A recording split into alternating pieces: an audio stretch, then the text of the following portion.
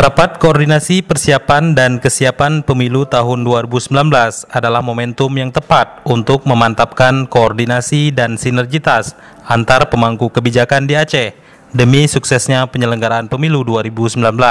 Hal tersebut disampaikan oleh pelaksana tugas Gubernur Aceh Nova Iriansyah dalam sambutannya saat membuka secara resmi rapat koordinasi persiapan dan kesiapan pemilu tahun 2019 di Aula Serbaguna Seda Aceh Selasa 25 September 2018. Sebagaimana diketahui, pemilu 2019 sudah memasuki tahapan kampanye calon anggota DPR, DPD, dan DPRD, serta pasangan calon presiden dan wakil presiden.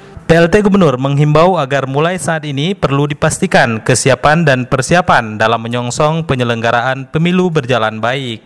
Koordinasi antar para pemangku kebijakan terkait harus berjalan baik karena tanggung jawab menyukseskan pelaksanaan pemilu bukan hanya dipikul oleh KIP dan Panwasli, namun juga menjadi tanggung jawab semuanya, baik itu pemerintah Aceh, pemerintah kabupaten kota, unsur legislatif, aparat keamanan dan penegak hukum, instansi vertikal, dan seluruh komponen masyarakat Aceh. Nova mengingatkan situasi daerah yang aman dan kondusif merupakan salah satu prasyarat utama bagi sukses dan lancarnya tahapan pemilu.